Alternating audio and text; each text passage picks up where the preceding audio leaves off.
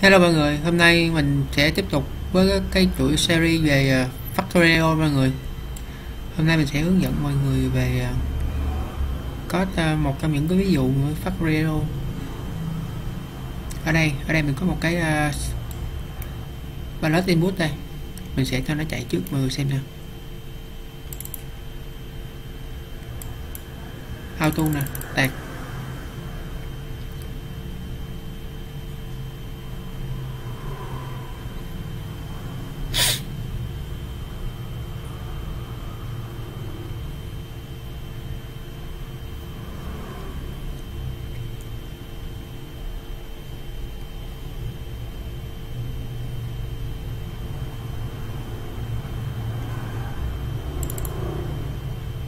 à, ở đây đủ hai cái nó sẽ bút qua mọi người.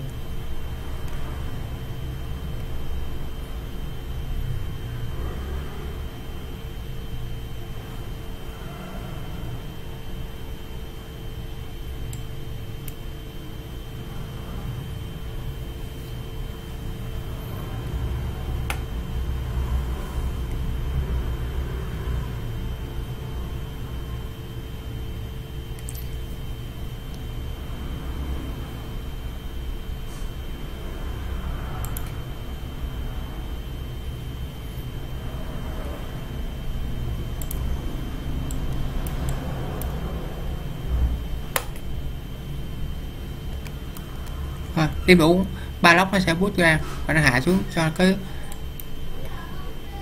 cho pallet mình đi xuống nè à. Ờ. pallet tới đi.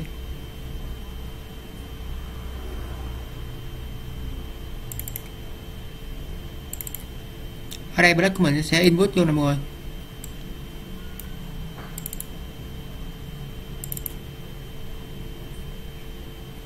Đây nó sẽ input vô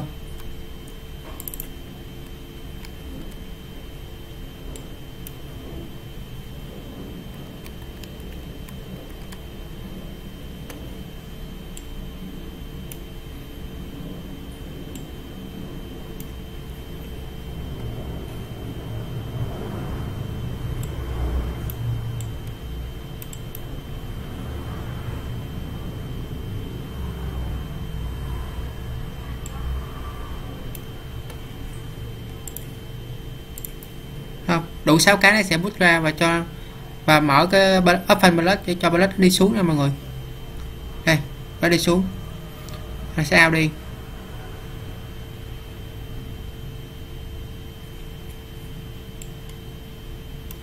Và đây pallet mới nó sẽ đi lên.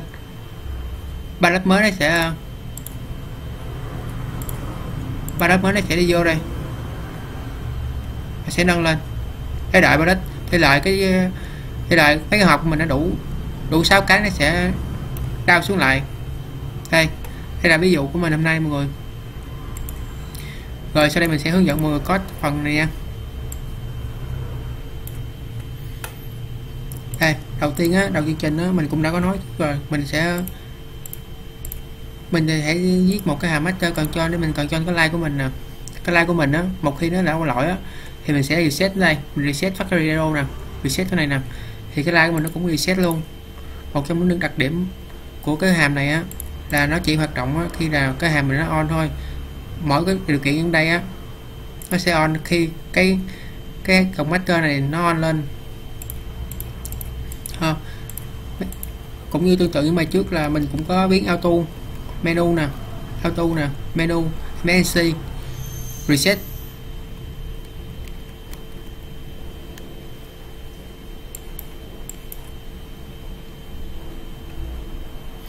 Reset. Rồi uh, ờ, ở đây mình sẽ viết cái beo trước mọi người. Mình sẽ viết cái beo này trước. Đây mình sẽ viết cái beo này nè.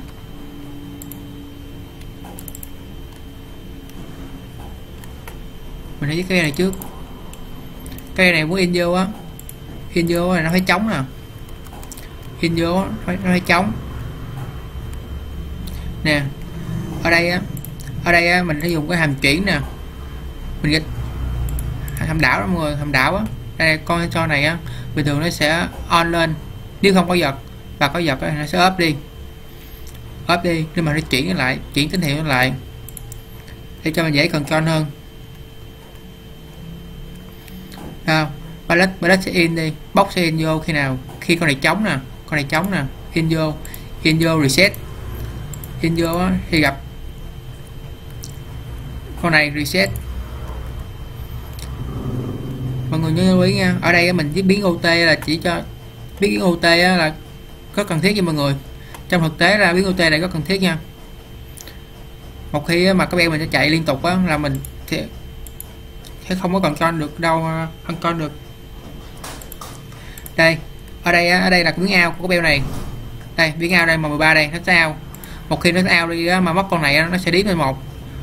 Nó đếm lên một. Một khi mà nó on đủ hai con này hai cái thùng thì sẽ bút qua. Nó sẽ bút qua.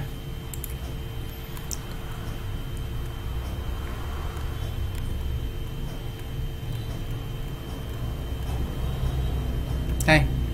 Ờ. Không on nè. Hay là cái cái counter của mình nè. Counter của mình nè. Thì đếm cái thùng, đủ hai thùng nó sẽ bút qua. Một khi xong bút qua rồi á, thì cái booster của mình nè, nó sẽ bút qua không bút qua. Rồi cái mình sẽ kẹp lại. Rồi nhả cái bullet mình xuống.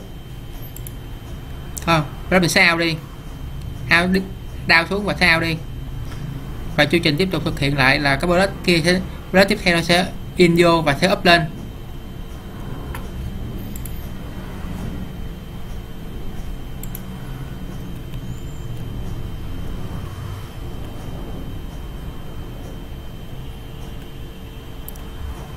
Hay mọi người lưu ý nha mỗi lần mỗi lần mình làm việc là, là, làm việc xong một cái chương trình nào đó thì mình phải cầm list nó để mình biết nó là nó đã làm xong rồi để mình thực hiện một chương trình mới. Đây là biết cầm list đây. Đây là biết cầm list của các calem này mọi người. Không? Các calem này nè. Đây đây nè. Một khi nó đã kẹp gọi nó cũng phải cầm list để nó biết được là nó làm xong rồi. Đây đây là cái chương trình nè. Đây cái hồng này. đây còn đây là đoạn chương trình của pallet dưới của mình nè. Pallet dưới của mình nè. Pallet này á running thế nào? Running á khi á, là cái lifter mình nè. Lifter mình đây là lifter nè nó trống. Nó trống nè lifter này nó trống nè. Đồng thời á, là cái lifter này không up nè không đau thì in vô in vô. In vô cái nào? Nó nào đi? À. à, bên lỗi mọi người nha ở đây nó bị lỗi à, mình sẽ cho nó qua đi đây sao đi? Ở đây nè tới nè. On luôn này nè, up lên nè. Up lên để đại thùng. Đó.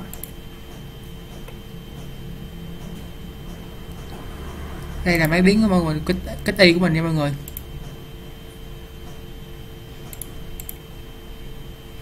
Rồi. Rồi mà đây à, mình xin kết thúc video ở đây nha. Cảm ơn mọi người đã theo dõi